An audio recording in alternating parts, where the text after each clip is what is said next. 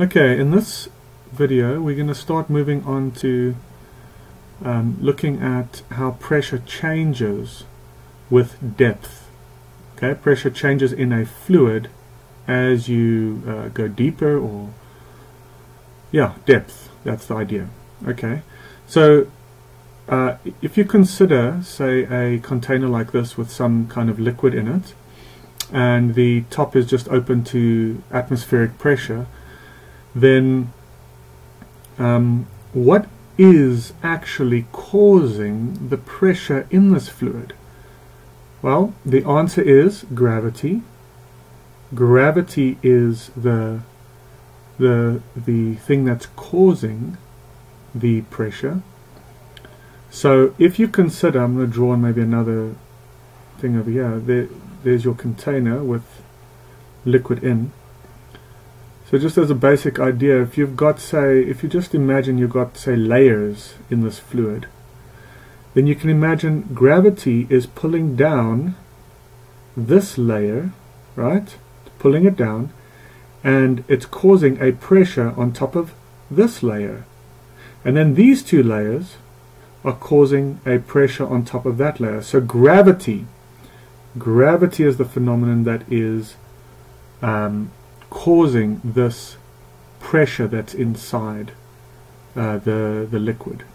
Okay, so let's look more at this example over here. Here again we have um, a volume of fluid, got a piston at the bottom, a piston at the top, and um, our assumption is that there's no there's no force, right? There's there's nothing. We assume that this piston has no mass, and so what is causing this um, column of water to be um, static, right? Static, so that its acceleration is zero. Well, we know first of all that gravity wants to pull it down.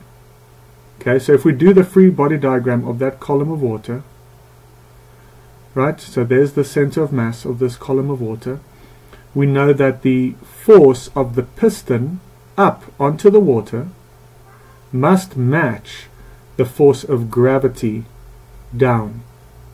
Okay?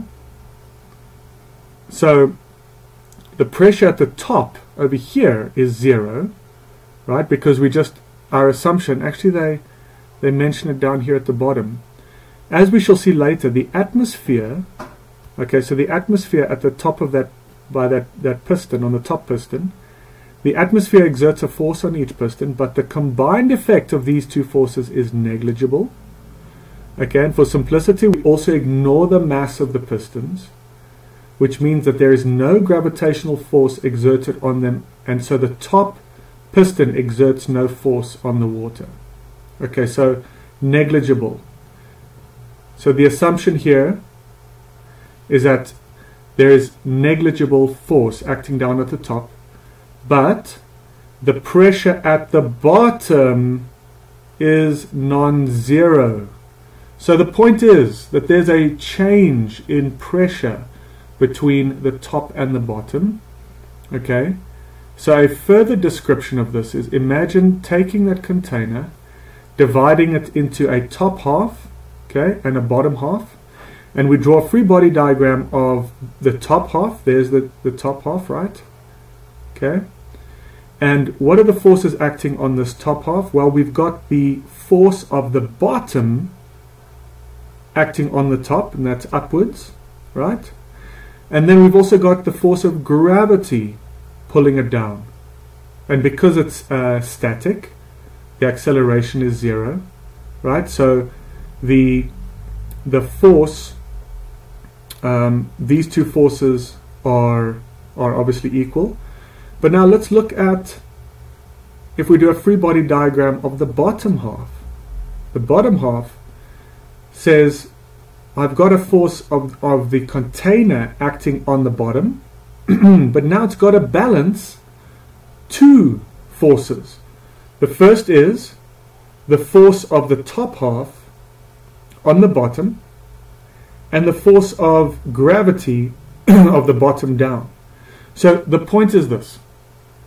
This force of the bottom onto the onto the top is smaller than the force of the container onto the bottom.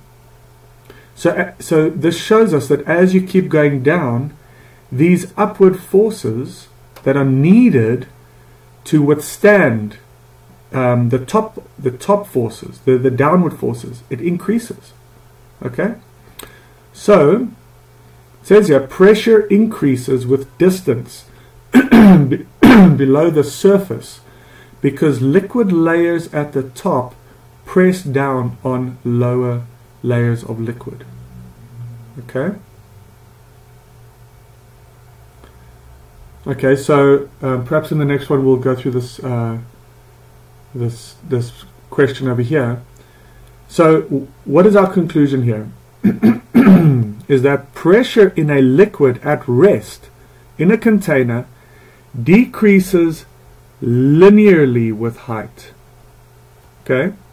So if here's a container, the pressure would be highest at the bottom and decrease linearly with height.